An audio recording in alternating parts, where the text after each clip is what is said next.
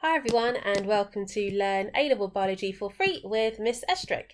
In this video I'm going to be going through transport across membranes. So it follows on from the video on the cell surface membrane and organelle membranes which I'll link here for you to watch if you haven't already. And just to recap from that one, in that lesson, I went through all the components that you find in a plasma membrane, and this is then used to explain why lipid-soluble molecules can simply diffuse through that phospholipid bilayer, as well as very small molecules like carbon dioxide, oxygen, and water. However, because of the properties of that phospholipid, water soluble or polar or ion substances cannot simply diffuse through the phospholipid bilayer, or if molecules are too large, like glucose. So within this video, we'll be looking at simple diffusion, but also the other mechanisms for how molecules can transport from one side of a membrane to another, whether that is on the outside of a cell into the centre of the cell, or from the cytoplasm into an organelle. So the first type of um, diffusion is simple diffusion. And this is the net movement of molecules from an area of higher concentration to an area of lower concentration.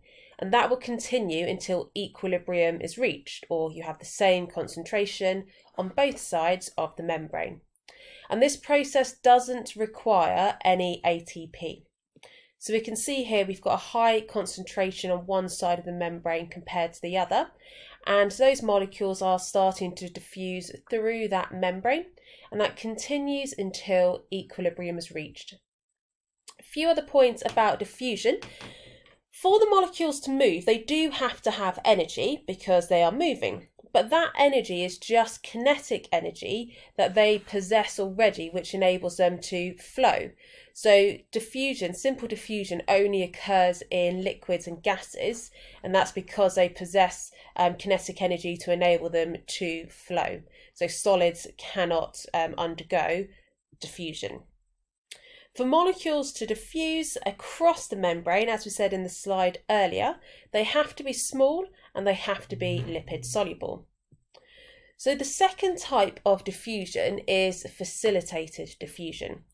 It's still a passive process, and by that we mean it doesn't require any additional ATP energy. But it's different from simple diffusion because it does use proteins embedded within the membrane. And those are used to transport the molecules from one side of the membrane to the other. And this is to enable ions, so molecules that are polar and therefore they are not lipid soluble, or any molecules that are too big to simply diffuse through the phospholipid bilayer, they will move by facilitated diffusion. So it's still the movement from a high concentration to a low concentration. The only difference is it's through either protein channels or carriers to enable these types of molecules to pass. So a protein channel, this is a protein embedded all the way through the phospholipid bilayer and the hollow tube that you can see here fills with water. And because it's filled with water, that enables water soluble ions or molecules to pass, they dissolve and then they pass through the channel, whereas they are unable to dissolve through that phospholipid bilayer. So it is selective because the channel proteins are only open in the presence of certain ions when they bind to that protein. Alternatively, we have these carrier proteins, which these final three are carrier proteins. And in this case, the molecule has to be complementary in shape to the carrier protein. It will bind, and that will then cause the protein to slightly change shape. And that change in shape causes it to release the molecule on the other side of the membrane. So this doesn't require energy, it's just to do with the binding of shapes and that causes the protein to slightly change shape in itself. And that is the way that glucose would be transported by facilitated diffusion. Next then is osmosis, and this is only the movement of water, and it's the movement of water from an area of higher water potential to an area of a mm. lower water potential, and it's through a partially permeable membrane. So that is a three mark definition.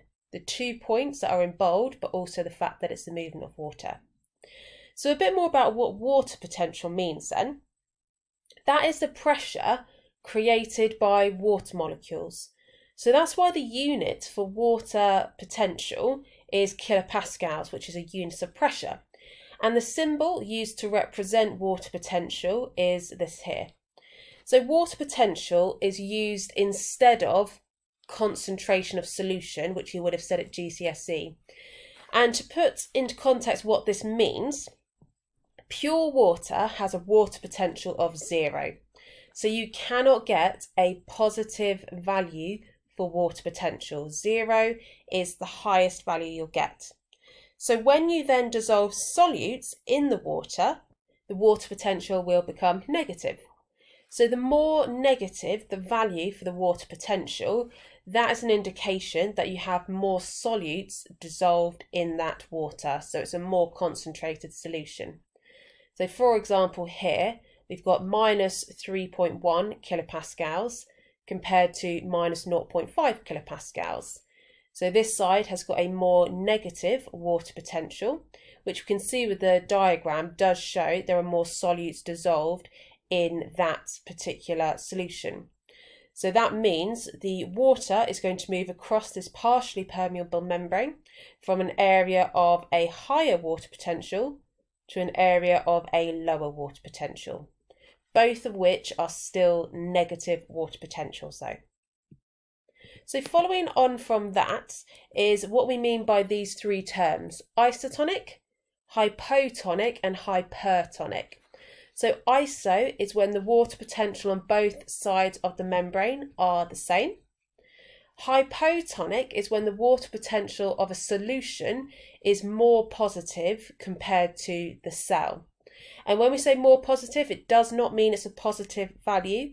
It just means it's a negative value that is getting closer to zero. Hypertonic is when the water potential of a solution is more negative compared to the cell.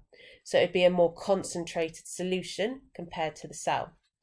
And this is just indicating here with these diagrams what would happen to animal cells, for example, red blood cells, if they were placed in these types of solutions. So if you put an animal cell in an isotonic solution, there's not going to be any net gain of water because it's already at equilibrium. There's the same water potential inside and outside. However, in animal cells, if they are placed in a hypotonic solution, for example, distilled water, that means that water will move um, into the cells by osmosis because the outside of the cell is more positive compared to the inside of the cell, which is more negative. So water will move in. And eventually, so much water could move in that the cell bursts or lysis occurs. And that's because animal cells do not have a cell wall to strengthen them. Plant cells, in comparison, their cells wouldn't burst in hypotonic solutions. Instead, because they do have a strengthened cell wall, they'll become turgid. Both animal and plant cells, though, if they're placed in a hypertonic solution, because the solution outside of the cell is more negative, the water will leave the cells by osmosis and that will cause the cell to shrivel up. So the last type of transport is active transport. Now I have got an entire video on active transport in more detail as well as co-transport which I'll link just here for you to have a look at if you want more details. But a basic summary of active transport is it's the movement of molecules and ions from an area of a lower concentration to a higher concentration. So this is the only one which is going against the concentration gradient. And because it's going against that gradient, it does require ATP and it also requires carrier proteins. The carrier proteins, they act as a pump to move substances from one side to the other side of the membrane. This is very selective as only certain molecules which are complementary in shape to the protein will be able to bind. And that's what we can see here in this diagram. So we've got sodium ions are complementary and they're able to bind. But because it's going against the concentration gradient, ATP is needed to attach to that protein to enable it to have enough energy to change shape and release those sodium ions on the other side of the membrane. So certain molecules can bind to the receptor site on carrier proteins. ATP, as I said, that will then bind to the protein on the inside of the membrane and it's hydrolyzed into ADP and PI.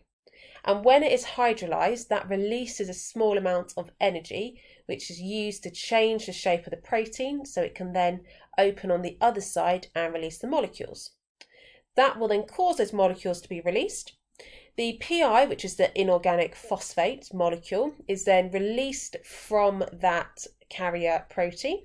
And this results in the protein reverting back to its original shape so the process can continue to happen as long as there is a supply of ATP available. So that is it for transport across membranes. I hope you found that helpful. If you have, please give it a thumbs up and make sure you do click to subscribe.